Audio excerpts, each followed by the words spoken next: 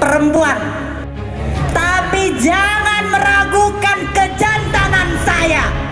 Kami berdua sudah memutuskan akan mengabdikan diri, waktu, tenaga kami, bakti kami untuk meneruskan pembangunan di Kalimantan Barat, terutama untuk masyarakat pedalaman.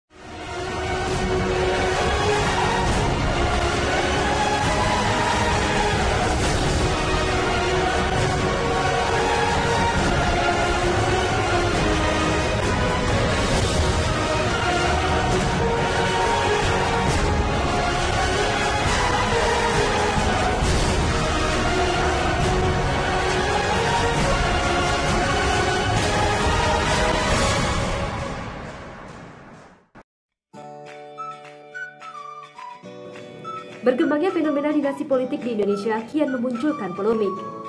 Sebagian besar masyarakat beranggapan dinasti politik akan menciptakan dampak buruk di alam demokrasi. Sejak Mahkamah Konstitusi menghapus pasal 7 huruf R Undang-Undang Nomor 8 Tahun 2015, dinasti politik dianggap legal dan tidak dilarang di Indonesia. Dihapusnya pasal dinasti politik oleh Mahkamah Konstitusi bukan tanpa alasan, karena bertentangan dengan Konstitusi, Undang-Undang Dasar 1945, dan pelanggaran HAM yang diatur dalam konvensi internasional. Hak politik adalah hak warga negara untuk dipilih dan memilih. Di Indonesia, setiap warga negara mempunyai hak untuk mencalonkan diri menjadi kepala daerah asalkan memenuhi persyaratan yang telah diatur dalam undang-undang. Dengan demikian, dinasti politik merupakan hal yang wajar di alam demokrasi dan dunia perpolitikan di Indonesia karena setiap warga negara memiliki kemampuan dan prestasi untuk membangun daerah. Walaupun berasal dari dinasti politik, apakah tidak memiliki hak untuk mencalonkan diri menjadi kepala daerah atau anggota legislatif? Tentunya akan dijawab dalam profil singkat calon gubernur Kalbar satu-satunya wanita yang akan bertarung memperebutkan singgasana kursi panas di Pilgub Kalbar 27 Juni 2018 mendatang. Dan inilah profil singkat Dr. Caroline Margaret Natasa. Sudah lama masuk PDI, dia dokter. Namanya Caroline Margaret Natasa. Sekarang sekarang menjadi Bu, Bupati Bupati Kabupaten Landak. Nah, bapaknya itu gubernur dua kali. Pak Cornelis adalah Caroline Margaret Natasha, putri sulung dari Cornelis, mantan gubernur Kalbar periode 2008 hingga 2013 dan 2013 hingga 2018. Ketua DPD PDI Perjuangan Kalbar adalah calon gubernur Kalbar yang diusung oleh sejumlah partai, yaitu PDIP dengan 15 kursi, Demokrat dengan 9 kursi, PKPI dengan 3 kursi, serta Partai Perindo. Caroline berpasangan dengan Suryat Mandidot yang saat ini masih menjabat sebagai Bupati Bengkayang sekaligus Ketua DPD Demokrat Kalbar. Keduanya akan mengikuti kontestasi Pilgub Kalbar 2018 mendatang. Usai menyelesaikan pendidikan di Fakultas Kedokteran Universitas Atmajaya Jakarta, wanita yang lahir di Mempawah 35 tahun silam ini memulai karir politiknya sebagai anggota DPR RI periode 2009 hingga 2014 dan 2014 hingga 2019 dari PDIP. Karir politiknya begitu cemerlang. Di pemilu 2009, Caroline melenggang ke Senayan dengan perolehan 222.021 suara yang menempatkannya di peringkat ketiga suara caleg terbanyak di tingkat nasional. Pada pemilu 2014, Caroline memperoleh 397.481 suara dan menciptakan rekor sejarah sebagai satu-satunya caleg di Kalbar yang menempati peringkat pertama se-Indonesia. Semenjak menjabat anggota DPR RI Komisi 9 membidangi kependudukan, kesehatan, tenaga kerja, dan transmigrasi, Caroline telah banyak mensosialisasikan program kerjanya untuk mengunjungi dan bersosialisasi dengan masyarakat di daerah-daerah terpencil, tidak hanya di Kalbar, namun di seluruh Indonesia.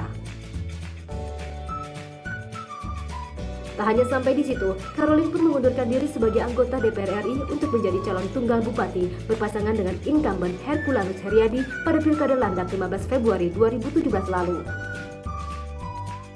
Didukung PDIP, PKPI, PKB, PAN, dan Hanura, Caroline pun sukses terpilih menjadi Bupati Landak periode 2017 hingga 2022 dengan perolehan 227.531 suara atau sekitar 98,86 persen dari jumlah DPT Kabupaten Landak.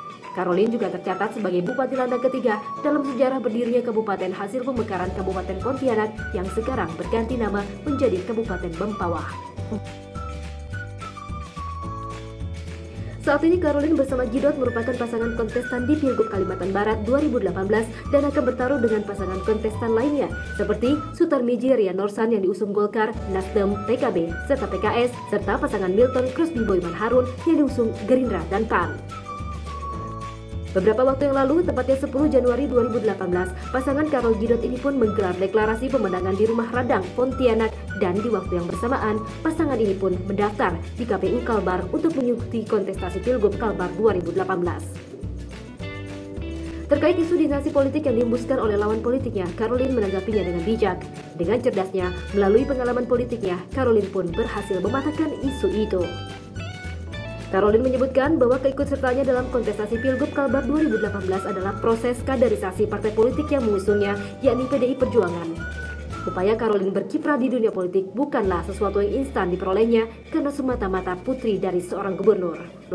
Masalah politik dinasti, saya kira saya merupakan proses dari kaderisasi partai.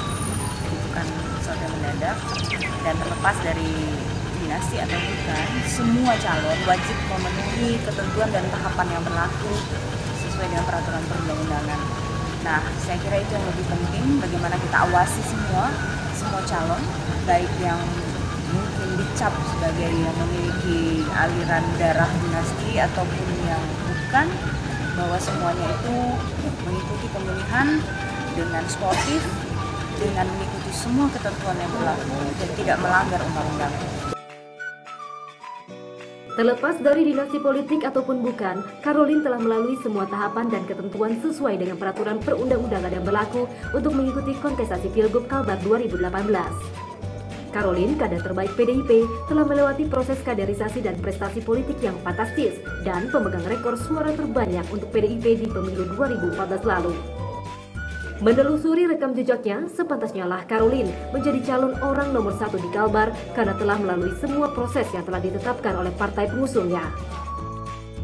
Melalui program prioritas kesehatan, pendidikan, dan pembangunan infrastruktur perbatasan, Caroline bersama Gidot mengajak seluruh masyarakat multi etnis untuk mendukungnya bersama-sama membangun Kalbar. Bersama Suryatman Gidot, wanita muda dan cantik dengan segudang pengalaman politik ini berharap agar seluruh masyarakat multi etnis di pelosok Kalbar bersatu untuk mendukungnya merebut singgasana kursi panas Gubernur Kalbar. Ayo, seluruh masyarakat di seantero Kalbar berikan kesempatan untuk Caroline Gidot menjadi gubernur dan wakil gubernur terpilih 2018 mendatang karena Kalbar butuh Caroline dan Gidot.